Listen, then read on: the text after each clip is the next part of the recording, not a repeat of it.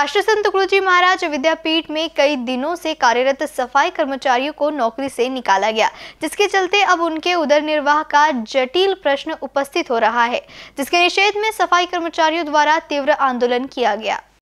दरअसल कई दिनों से विश्वविद्यालय में निष्ठा से काम कर रहे सफ़ाई कर्मचारियों को अचानक निकाल दिया गया, जिसके कारण सफ़ाई कर्मियों के बीच असंतोष का माहौल बना हुआ है। अनुबंध पर काम करे इन गरीब सफ़ाई कर्मचारियों के अब पेट पर आन पड़ी है, जिसके विरोध में नागपुर विश्वविद्यालय स्थित जमनालाल बजाज बिल्डिंग के सामने भाजपा शहर अध्यक्ष प्रवीण दटके एवं पूर्व विधायक संदीप जोशी के नेतृत्व में तीव्र आंदोलन किया गया और सफ़ाई कर्मचारियों के अधिकार की नौकरी वापस किए जाए, यह मांग प्रशासन से की गई।